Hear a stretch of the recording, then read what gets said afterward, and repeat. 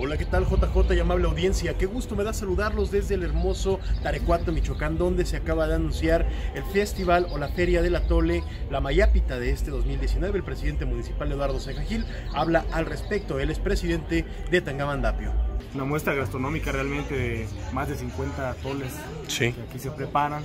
Es una tradición importante y pues vamos a seguir impulsando. Hoy vamos a dar una conferencia de prensa sobre todo para dar a conocer las actividades. Eh, eh, las actividades hay del día 2 y el día 13 de abril. Este, por aquí los esperamos a todos los ciudadanos de, de Tangamandapio, pero también a todos los amigos aquí de la región que quieran visitarnos, Zamora, Jacona, Chavina, Villamar, Pingüinín, que quieran aquí visitarnos, que son bienvenidos. Eh, la comunidad los recibe con los, con los, brazos abiertos y los esperamos que vengan a conocer. Quien ya ha venido a esta, a esta feria, yo creo que vuelve siempre.